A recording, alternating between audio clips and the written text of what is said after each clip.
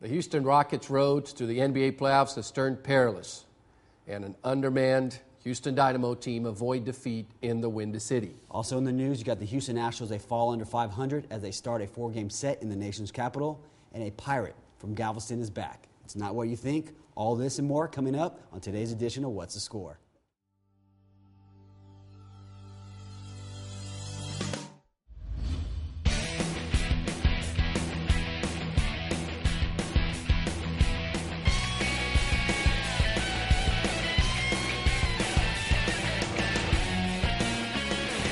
Another busy weekend of sports is in the bag, and many of our local teams were in action. The Rockets were the main attraction as they uh, continued to fight for a playoff spot. Now, you know, coming off that impressive road trip last week, I thought that the Rockets were prime for a strong homestand, but instead, they cratered in front of the sparse home crowd, going 0 for 3 at home, now losing to the Jazz, the Suns, and to the uh, Nuggets. Two of the two, actually three of those teams are all fighting for the Rockets for the eighth playoff and final spot. And, you know, they, they just simply crashed and Yep. burned. Um, I mean, there's no way about it.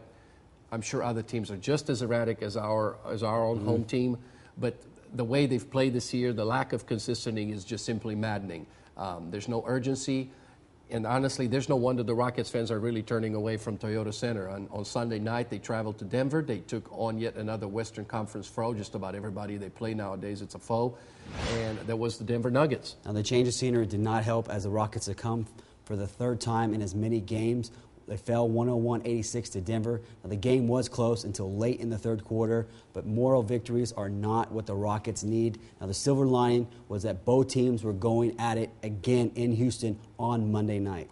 Yeah, if there's one thing you like about certain sports is the ability to redeem yourself right away. You don't have to wait a mm-hmm. week or 10 days or 23 days if you're the Houston Dynamo. But the Rockets failed miserably at redemption as well. They fell to the same pesky Nuggets at home 105-102 this time, making it like Jason said, three home losses in a row at the worst possible time, Jason. It was a huge letdown to say the least. Now, Dragic, Parsons, they were really the only ones ready to play on that Monday, Mon- Monday night. And except for flawless first quarter, you know, the Rockets, they chased the game all night long. The refs didn't help them out at all. You know, the loss that leaves the Rockets tied now for eighth place with the Suns. Um, they actually do have the tiebreaker over the Suns. They have faced them three times this year, taking the head-to-head two games to one. So they, they at least they have that mm-hmm. going for them. But they don't. Need, they need to step it up. They need to stop losing. It, we're coming down to it, and just like all Houston teams, they're going to make it Yeah. very interesting. And the they do not have the tiebreaker against the Nuggets, correct? I don't believe so Yeah, because they- the, the Nuggets have have Right. taken them well, too many times. It will year. be nip and tuck, and that's just how we do it here in Houston until the end. Obviously, April 26th will mark the end of the regular season. And I got to tell you, Jason, the remaining five games are anything but a breeze. We've got the Mavs, the Heat, the Warriors, and the Hornets. Hmm. And, you know, speaking of breeze, the Houston Dynamo traveled to the Windy City on Sunday night to face the Chicago Fire, a team that the Dynamo always plays well against. And this past Sunday was no different. Nope, indeed it was not. Now, the undermanned Houston Dynamo played to a 65 minute 1 1 tie. Yes, they only played 65 minutes. Now, this game was included also a 70 minute rain delay that ended up because of lightning. Now, Will Bruin and Logan Pause, they traded goals midway through the first half. Then the team slugged it out for another 40 min- more minutes. Now, during that time, though, the skies opened up and officials were forced to call it because of that thunder. You know, on one hand, I, I really wanted the game to continue, uh, as Houston always seems to get a good result at Toyota Park. But you know what? In the end, I think this was a great result given how Dynamo played without three of their main starting midfielders, including obviously 2011 MVP Brad Davis.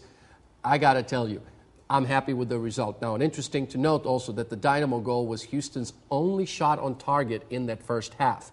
So you got to take what you can get. Yeah, certainly getting another point on the road following the 23 days that they've been idle is huge at this point. Considering last year took them all season to get a road victory, so you get a point on the road, you'll take that. Now, because as we look at the Eastern Conference standings, you cannot ex- ignore Sporting KC's amazing start. Six games, six wins, and 18 points. So Dynamo's 2 1 and 1 and seven points keeps them in the top half of the standings. As the record ranks them fourth with seven points. Now they'll head to Columbus in the next stop on their seven-game road trip, leading up to their big home opener in May. And I think we're all looking forward to that. I'll, I'll, I'll, I'll be here. You'll be there. And it's also worth mentioning that the Dynamo do have two games in hand. Finally, we've been saying that last year, how they never had the games in hand, and that can be an advantage as the season goes on. So, what do you make of the Houston Rockets tailspin? Will they be able to recover in time and make the playoffs? Do tell us. You can join us on Facebook and like What's the Score. You can also follow us on Twitter as well. The information is on the screen. Here's a look at scores from the previous week.